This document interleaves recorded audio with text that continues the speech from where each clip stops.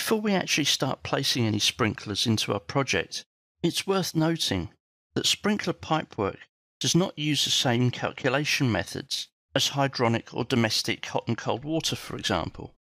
And because these calculation methods are so different, they're just not included in Revit MEP at this point in time.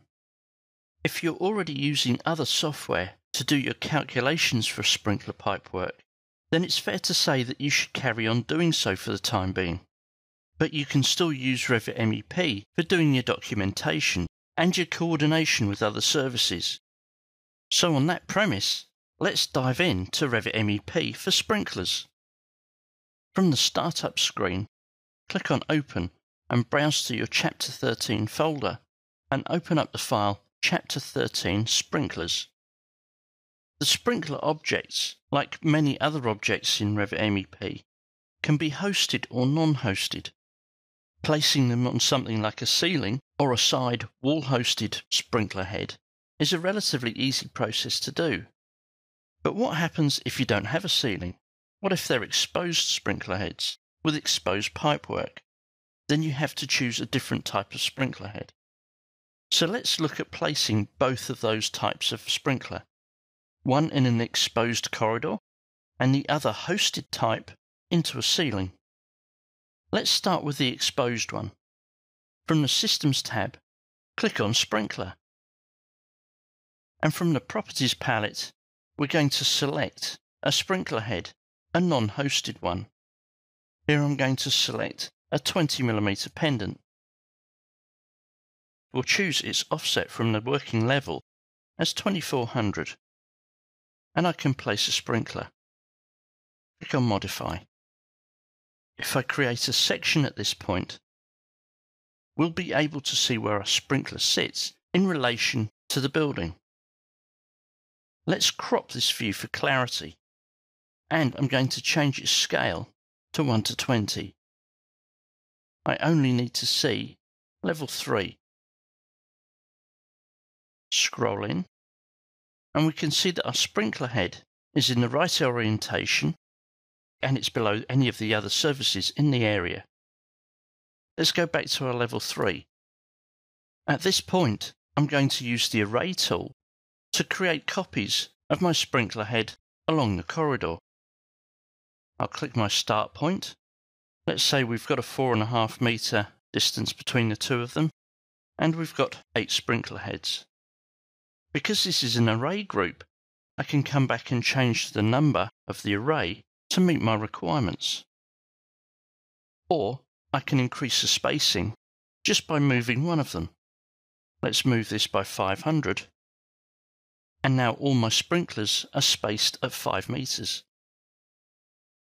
Let's just change that number back to 10 and I'm happy with my layout. Now I can do the ceiling hosted ones. Back on the Systems tab, click on Sprinkler again, and this time I'll opt for the Sprinkler Pendant Hosted, but we'll use the same type of pendant.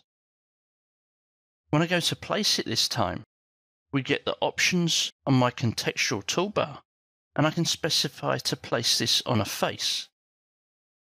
Now that I have one placed, I can click on Modify and go through the same process as before use the array tool to create a horizontal array. So I can now select those previous three. Make sure I ungroup them first, and then use the array tool again to create my vertical array. Let's check the placement of those with my section. And here you can see my sprinklers sat neatly on the underside of the ceiling.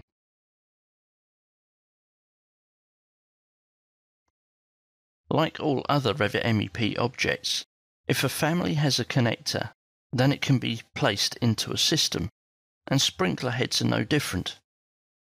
If I select one of the sprinklers, you can see that we can create a pipe from its location, or we can create a piping system.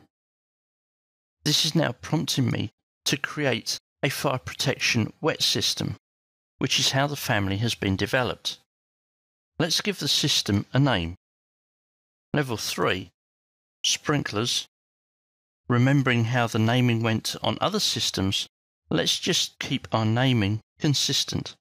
And we'll call this level 3 south sprinklers and click on OK. I now need to edit the system and add more sprinklers to the system. A selection window should do it and click on Finish to finish editing the system. I'll do the same for the corridor, only this time I'm just going to select all the sprinkler heads, click on Piping, and this time we'll call this Level 3 South Corridor Sprinklers and click on OK. That's now created my corridor sprinkler zone. With this completed, I can now move on to the next stage of actually creating a pipe layout. So far in the sprinkler exercises, we've been working in one of the coordinated layouts, which has a ceiling plan attached. Now we're ready to start working on the pipe layout. It's not really necessary. So from your project browser, scroll down and open up Level 3 Fire Protection Piping Plan and scroll into the south part of the building. I'm now ready to start laying out my pipes. Let's start with the corridor. I'll select one of the sprinkler heads, and in this option I'm going to use the Generate Placeholder tool to create placeholder pipes. This now gives me some solutions. Let's take a look at the options we've been given. Let's also check the settings for the actual pipes and here I find that we may already have some problems. There's my main run at 2700. Let's push this up to 3 meters and do the same for the branch. Click on OK and finish layout. I'll run through the same process for the sprinkler heads in the office. Select one of the sprinkler heads and this time we'll use the generate layout option and cycle through some of the options we've been given. Let's check the settings on this. And here we can see we've got the pipework to be offset at 3 meters. But none of the options are really doing it for me. That's kind of looking okay. So I could go with this, or I could just ditch it and do my own layout. But I'll settle with this one and click on Finish Layout. I now have two layouts that I can check in my 3D plumbing view. Let's remove the section box. And just so we can see them a bit better, let's hide the architectural file. And scroll in to see our sprinklers. Even though I can already see a coordination issue, my placeholder pipe is running straight through the middle of my fan coil unit I'm reasonably happy with this design outcome.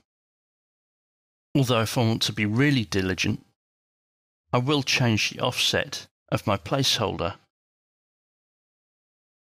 so that it runs underneath the fan coil unit.